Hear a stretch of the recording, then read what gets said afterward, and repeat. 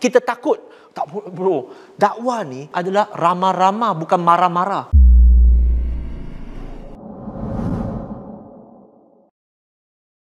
Benda ni yang paling ramai orang takut nak buat.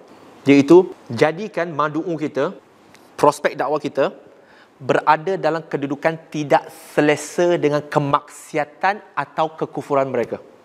Contoh, mereka tu orang bukan Islam. Kamu nak berdakwah kepada mereka. Kamu nak buat apa? Lepas cakap, tak apa, insya-Allah. Okey, Allah sayang kamu. Betul, saya tak nafikan Allah sayang dia. Tapi Allah sayang orang yang syirikkan dia. Tunjuk saya satu ayat. Allah sayang kepada orang yang bermaksiat. Tunjuk kepada saya. Kalau Allah kata Allah tidak sayang kepada orang yang bermaksiat. Kalau Allah sayang dia, kalau Allah sayang orang yang mensyirikkan Allah, kenapa Allah nak hukum orang yang dia sayang masuk ke neraka? Apa punya dakwah tu? Sebab hari ini, minta maaf, kita sebagai pendakwa, kita lebih suka mengambil hati orang berbanding dengan mencari redha Allah Subhanahu Wa Taala. Kita takut tak bro, dakwah ni adalah ramah-ramah bukan marah-marah. Dakwah ni bro, kita mendekatkan bukan menjauhkan. Dakwah ini adalah mereka nak menjadikan cinta bukan merasa takut, tidak selesa. Jangan jadikan mereka tidak selesa dengan kamu. Sebab tak boleh bro, kalau saya cakap benda ni kat medsos bro, nanti kena kecam. Taulah, jabatan netizen negara.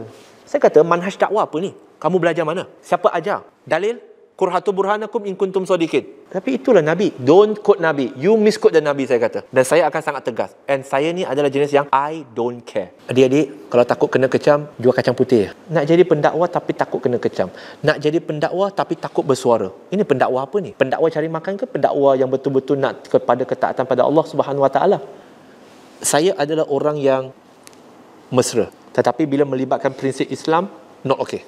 Saya akan sangat firm and I don't care. Itu adik-adik kena ada nilai itu. Jangan biarkan mereka dalam keselesaan dalam kekufuran. Jangan biarkan orang kita dakwa berada selesa dalam kemaksiatan. Jangan kata uh, walaupun dia maknya tak apa, teruskan okey je. Not okay. How can you say okay when Allah say not okay? How can you say okay to some orang tengah makan babi kamu kata okey je, silakan. Tu ada seketul lagi. Jangan membazir. Faham maksud saya tak? Is it okay? It's not okay. Walaupun benda tu haram, ada cara bercakap, PR. Kata, uh, sebenarnya apa yang kamu buat, kamu tahu benda tu tak betul. Dan kamu tidak seharusnya meneruskan. Suara saya okey tak? Berbeza dengan, apa kau ni? Ah, itu lain. You kena menyampaikan dalam hikmah. Um, kamu sebagai muslim, kamu tahu kan? Kamu tak sepatutnya berpakaian begini kan? Menyerupai wanita kan? Now, suara saya okey tak? Okey kan? Dia terasa menusuk tak? Saya cakap lembut ni. Tapi menusuk. Faham tak? Cara penyampaian itu juga kena belajar. When Allah say it's not okay, jangan kita okay benda, jangan halalkan benda yang Allah haramkan dan jangan haramkan benda yang Allah halalkan. Be firm. Yang ini, bila orang rasa tak selesa, kebiasaannya orang ni, dia akan mula berfikir bila dia rasa tak selesa. Berapa kerap Allah Taala jadikan orang tak selesa, orang-orang kafir tak selesa. Saya bagi satu contoh. Surah Al-Hajj surah ke-22 ayat 73. Allah Subhanahu wa taala berfirman, "Ya ayuhan nas, wahai manusia, mari mari mari mari dengar dengar dengar. Aku akan memberikan satu perumpamaan iaitu apa? Dan jikalau kalian mengumpulkan segala berhala-berhala dan sekalian manusia untuk menciptakan seekor lalat, kalian tidak akan mampu menciptakannya." Hu, Allah punya sintam teruk. Oh. Siapa boleh jawab?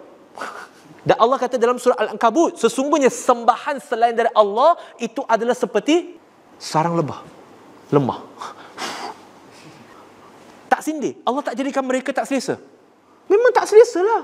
Nabi SAW bila dia ajak bertoleransi untuk sembah menyembah, Nabi tak ada. Nabi jadikan mereka tak selesa. Nabi kita, dia diperangi sebab apa? Sebab dia ajak orang sembah Allah ataupun kerana dia mencegah kesyirikan di situ.